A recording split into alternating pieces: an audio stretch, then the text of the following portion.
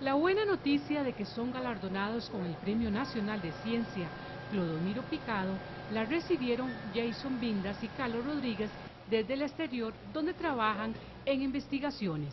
Es un gran honor para mí estar recibiendo hoy el Premio Nacional de Ciencia Clodomiro Picado, el máximo galardón que se entrega en nuestro país a un científico nacional. Decidí ingresar a la carrera de microbiología, pero siempre todo espinita en mi cabeza del interés por la parte de ingeniería.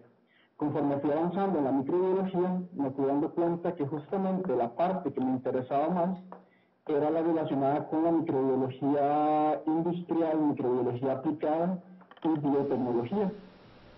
Los premiados se mostraron agradecidos con el jurado que los escogió. En el caso de Jason Binda fue por su trabajo en el campo de las matemáticas, por sus aportes teóricos al análisis, entre otros.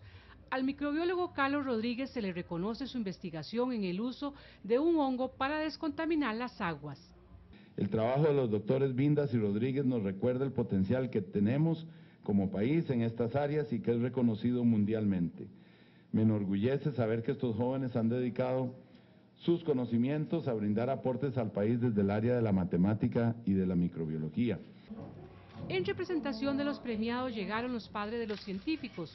El Premio Nacional de Ciencias se entrega desde 1976 y los galardonados quienes están en Bélgica y España deberán venir a Costa Rica a recibir el premio el próximo 28 de abril en el Teatro Nacional.